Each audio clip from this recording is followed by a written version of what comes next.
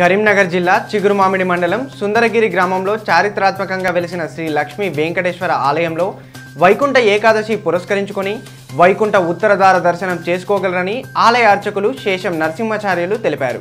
సిద్దిపేట జిల్లా బెజ్జంకి మండలం దాచారం గ్రామంలో సాధవనేని శ్రీనివాస్ ఇంట్లో గురుస్వామి శ్రీమాన్ శేషం నరసింహాచార్యుల ఆధ్వర్యంలో మహాపడి పూజ నిర్వహించారు.